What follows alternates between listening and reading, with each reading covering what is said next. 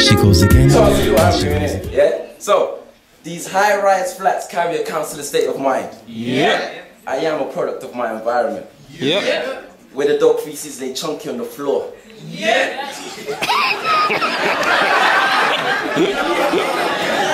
Listen. Where the dog feces lay chunky on the floor. Mind your step. The working girls come out at night, they won't bother you by day. And be wary of smiles for they can switch in you some way. You see, I've grown to realize that rather than appreciating some hate, some see the light at the end of the tunnel and some just choose to wake up late. Hmm.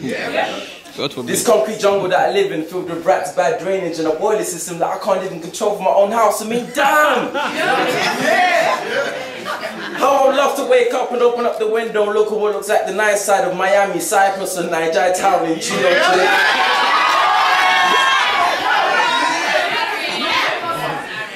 But I lied.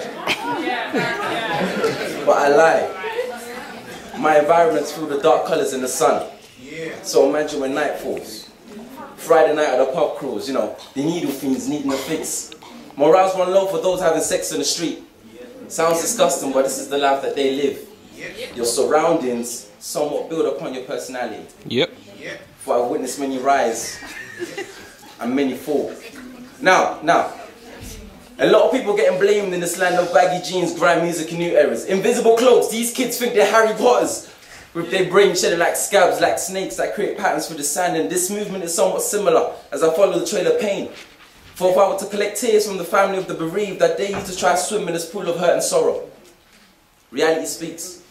And she talks about headless soldiers. But at one point, these heads were strapped on fully as they came out of the womb and held in the hands of those that should have guided them with discipline, morals, and guidance.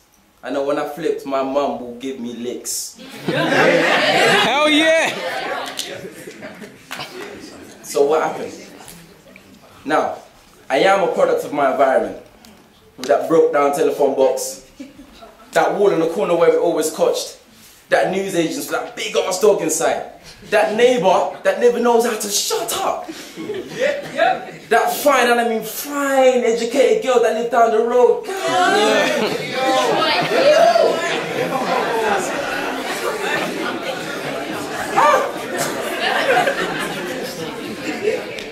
Local TSG stop and searching. Misguided females being passed around like parcels. And that Debo H guy thinking that he's king of the castle. An environment where you should watch out for the crooks. You know, the ones that swap laptop for ciders. Them ones. An environment where news fees of altercations leads into murders.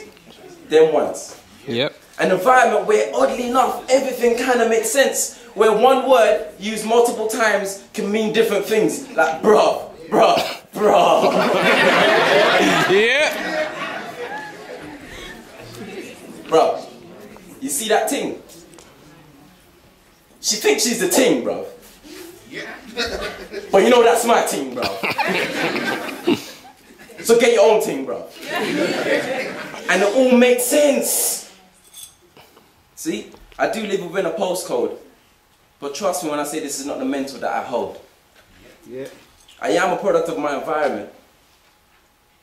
Education, guidance, wisdom, true friends that I can count on one hand. Show me your one hand. You can count your friends on one hand.